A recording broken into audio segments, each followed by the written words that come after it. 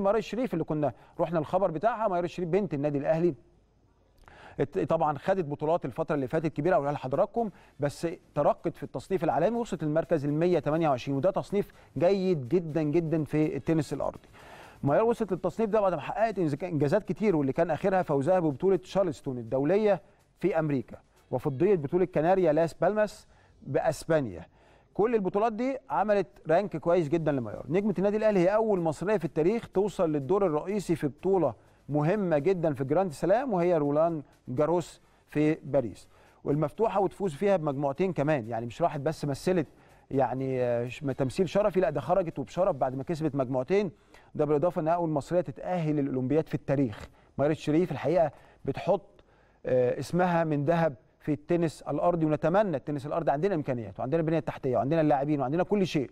نتمنى إن شاء الله إن ميار تفتح السكة زي محمد صلاح ما فتح في الكورة طموحاتنا وفتح نفسنا. ميار بتفتح نفسنا وكده قربت 28 آه، مركز للمئة العظماء في التنس الأرضي. ميار إحنا معاكي وربنا يوفقك وإن شاء الله تبقي دائما ابدا زي ما انت ماشية واجهه مشرفة وسفيرة للبنت المصرية يعني سفيرة على حق للمرأة والبنت المصرية. طيب هنروح للسباحة. إحنا زي ما قلنا ابطالنا النهارده أبطال سباحة والسباحة كمان بتحقق إنجازات كبيرة جدا. الأهلي يتوج بالدرع العام لسباحة المياه المفتوحة بشرم الشيخ. النادي الأهلي حقق لقب بطولة الجمهورية لسباحة المياه المفتوحة بعد ما فاز بالدرع العام للبطولة اللي اتلعبت في مدينة شرم الشيخ في الفترة من 26 ل 30 نوفمبر اللي فات. الأهلي فاز بالدرع العام بعد ما كان حقق أغلب كؤوس البطولة فهنلاقي إن الأهلي فاز بالمركز الأول في مرحلة تحت 16 سنة. ناشئين وناشئات وكأس تحت 18 سنة ناشئين وناشئات و19 سنة ناشئين وناشئات وكأس مرحلة العمومي سيدات. وكمان حققنا المركز الثاني في سباق بالعمومي رجال و17 سنة ناشئات والمركز الثالث في المرحلة 18 سنة ناشئات و19 سنة ناشئات. الحقيقة زمان أنا يعني مش قادر أحصي الكؤوس والبطولات. وكل سنة على فكرة إحنا بهذا الشكل. السباحة قطاع كبير جدا في النادي الأهلي بيضم مئات السباحين. عشان توصل في تبقى سباح في النادي الأهلي بتعدي على اختبارات كبيرة جدا عشان تقدر تكون سباح وتمثل النادي الأهلي ومنه إلى منتخب مصر. وهنتكلم باستفاضة عن السباحة مع ضيوفنا إن شاء الله.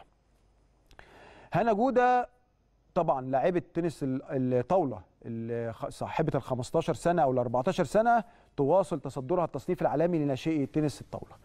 الاتحاد الدولي لتنس الطاولة اعلن تصنيف اللاعبين عن شهر 12 اللي إحنا فيه واللي شهد طفرة في مراكز لاعبين. فلو رحنا لتصنيف الناشئين هنلاقي هنا أو ناشئات هني جو- هنا جودة. بتتصدر التصنيف العالمي تحت 15 سنة. هنا جو هنا جو- هنا جودة رقم واحد على العالم 15 سنة ناشئات. وبتحتل المركز ال 34 في تصنيف 18 سنة كمان. يعني المست... السن الأعلى منها ال 34 على اللاعبات الفر... ال- الصينيين خلي بالكم الصين اللاعبات. يعني دايما في أي. في أي event كده أو أي آه، مرحلة سنية تلاقي الصينيين واخدين أول 10 أو 15 مركز هنا جودة عدت كل ده وخدت المركز الأول هنا جودة الحقيقة يعني محتاجة دعم قوي جدا آه، آه، من الدولة عشان نحافظ عليها والحقيقة الدعم موجود واستمراريته موجودة وهنا حاسة بالكلام ده ولولا هذا الدعم ما كانتش هنا هتتصدر المشهد بالشكل ده ولو رحنا للتوأم مروة ومريم الهضيبي هنلاقيهم في المركز ال 19 وال 21 على الترتيب في التصنيف العالمي للاعبات تحت 21 سنة. مركز ال 19 وال 21 مركز متقدم جدا. ولازم نقول حاجة إن الثلاثي كان قدر إنه يساعد الأهلي في الفوز ببطوله الجمهورية تحت 21 سنة واللي حققنا فيها الفوز على الجزيرة على جزيرة الوادي بنتيجة 3-0 طبعا التنس الأرضي آه، يعني عاملين طفرة كبيرة جدا. تنس أنا آسف تنس الطاولة طفرة كبيرة جدا والحقيقة آه، زي ما إحنا شايفين مستقبل التنس الطاولة الحقيقة لقطاع الناشئين وال- والناشئات ماشي بخطى ثابتة عشان يدعم الفريق الأول. هنروح طبعا هنفضل في تنس آه، الطاولة. دينا مشرف نجمتنا والمحترفة في ألمانيا آه، طبعا بتتصدر التصنيف الأفريقي. دينا مشرف لاعبة منتخبنا الوطني الأول لتنس الطاولة ونجمة النادي الأهلي المحترفة دلوقتي في نادي لانجشتاد الألماني. احتلت صدارة التصنيف العربي والأفريقي للاعبات تنس الطاولة عن شهر 12 دينا جت في المركز الأول بعد ما احتلت المركز ال 35 عالميا بمجموع 6225 نقطة وسيطر اللاعبات الصينيات طبعا على المراكز الأولى طبعا زي ما قلت لكم اللاعبات الصينيات.